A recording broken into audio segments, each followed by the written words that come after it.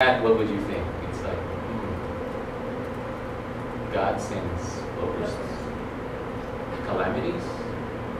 But if you read the whole psalm, it, it says God uses the locusts and grasshoppers to help force Pharaoh to let Israelites go free from Egypt. So that's just, you know, if you read the whole thing, you'll know why that that line is like that. So otherwise you might make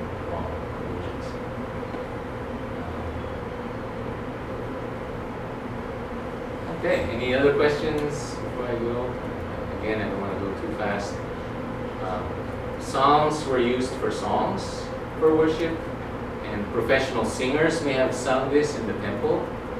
Uh, David wrote almost half of it, Moses wrote one, Solomon wrote two, and then there's people like sons of Asaph, sons of Korah wrote seven.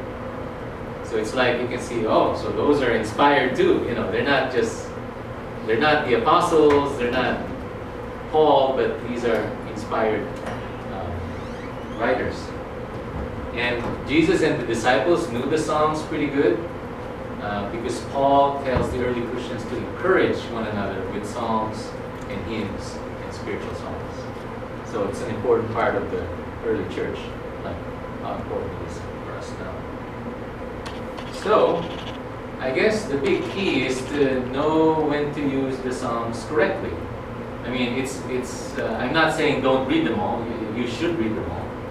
But uh, a way to use them, another way to use them is to know when to use them. And for example, you have misfortune. You want to complain to God. You can go with laments. if you feel pretty good, you want to praise God, you can read some thanksgiving. You want to sing about it, you can read the hymns of praise salvation history, if you want to, you know, want to sing about how Christ saved you and, and what the background is in that. Uh, there's celebration, affirmation. Um, there's just songs of wisdom. Way, it's sort of like a proverb or two. And then there's songs of trust. And now the problem is, I mean, these categories, they're not set in stone. Other people have made different categories. So, so it varies. But I notice everyone says, yep, laments. That's what we'll call them. so that's, uh, no, it's from another source that I got. Uh, how to read the Bible for all it's worth by Gordon That's how it that. But there's other people who break it in. Uh, but again, laments are the most out of the Bible. And what does that tell you about God? about the Bible. He listens to us when things are going bad or things are, you know, we all have, we all complain. We all complain, you know. God is okay with that. If you just say that to God and not to. That's sometimes when people want to seek God is when they have stuff to complain about. So maybe right. that's why there are so many. Right. Laments as opposed to Thanksgiving or praise. Right. Maybe that's where we seek Yeah, there's many things that happen in our lives that we want to complain about. And who is the best person to do that with? It's, it's God. That's that life. Yeah. Everybody had to go through that. Right. One eventually. Eventually, we will all, all of that. feel these things. Yeah. And if we read the psalm, we go, oh, that's nice. And that helps us. Just like the way songs help us You know, other songs that we do, songs that you guys play, it helps us uh, express what's inside that uh, we just couldn't express on ourselves. It, it, it, helps. So what better way than have the Bible do that for us, serve that for us.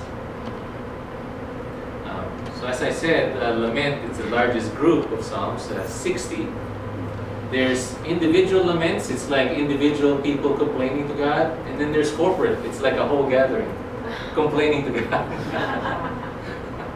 so individuals help people express struggles, suffering, and disappointments, and corporate, you can see those are examples, it's a group of people doing that. So it's about being honest to God, and being able to express what's in your heart, what you feel.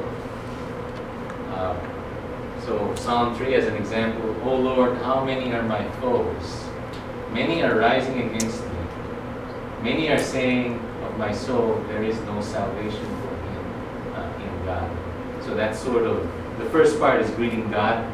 The second part is about God, you know, how many are my foes? There's so many. They're all over. So it's like a complaint of some sort.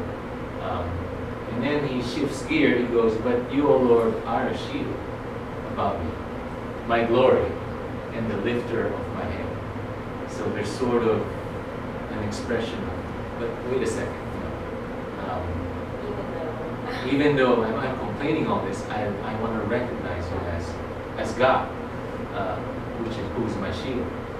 Uh, so I cried out aloud to God, and He answered me from His holy hill. I lay down and slept. I woke again, for the Lord uh, sustained me. So He's saying things that uh, God has done for him. You know, but, wow, God answers. Uh, God sustains me. And then, so as a conclusion, he goes, number six, I will not be afraid of many thousands of people who have set themselves against me all around. It's like from that, we, we feel that God has done things for us in the past, it sustains me. So now there's an expression of confidence uh, from the person. Uh, and then, arise, O Lord, save me, O my God, for you strike all my enemies on the cheek. You break the teeth of the wicked. Um, you know, that's not very Christian, but that's that's how the psalmist is feeling. You know, break their teeth. You know, anyway. So salvation belongs to the Lord. Your blessing be on your people. Um, so you can see the somewhat of a, a format just for this one. You know, you address God, you complain to God, you you say what's true about God, you figure out what God has done for you, and then and then you become confident in God, and then you tell God, yes, you know, arise. It's uh, it's definitely emotional. Yeah, in that sense. Yeah, and psalmists say a lot of like praying to God to destroy their enemies. Right. Like, but, um, I feel like God said like love your enemy. Right. But at that that time, like before the, I'm not sure the new testament. Why do people like keep like praying to destroy their enemies? No. No, that good question. Yeah. Um, culture? It could be many things, but um, but a general answer I could say is that's their emotion at the time, and they can be honest with God about it. And especially in that era, you know, they literally have enemies. It was it was like a lot more. Yeah. Like the more than the Wild West, you know. Yeah. like they're fighting, uh, literally. That's before Jesus. Right. Now, now what are our enemies? You know, it's not someone coming in at your door, and, unless you live in some parts of the world. But, In a bad area, maybe so. yeah, but, but here, you know, our enemies are what?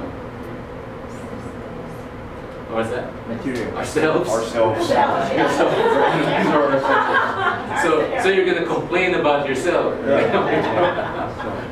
so, so it's a different application, right? In that sense. Well, maybe for this one, because in verse two, it says, many are saying of my soul, so they're saying things. And then when it says, strike all your enemies on the cheek, and maybe so they can't say stuff about, Uh, true. you know what I mean? So it's not as much as like, okay, well, destroy them, but don't let them.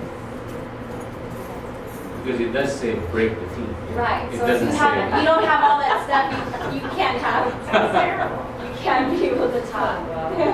Or it could be another way of saying, you know, silence them. Yeah, Yeah. yeah, yeah, yeah, that's what I Yeah. meant, yeah. You think metaphorically. Yeah. Right. Yeah. Like poems. So why did the person use the word teeth instead of like tongue?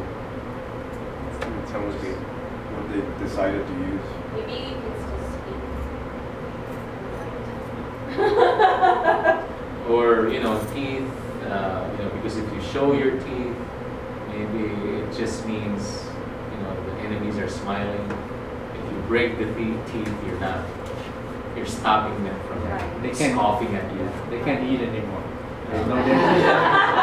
There's no danger Thinking too much about it. Yeah. That's could the be that part time of we're that. talking about on Yeah, right yeah. slide, right? We don't think too Yeah. much about them. Yeah, yeah, so that's part of that, because there's actually scholarship that have figured out what does breaking the teeth mean? And I don't have it in my head, but there's somewhere, there's someone that's written about that. So, I, I had a grandma back then because she was old and they lose all her teeth and uh, she couldn't eat.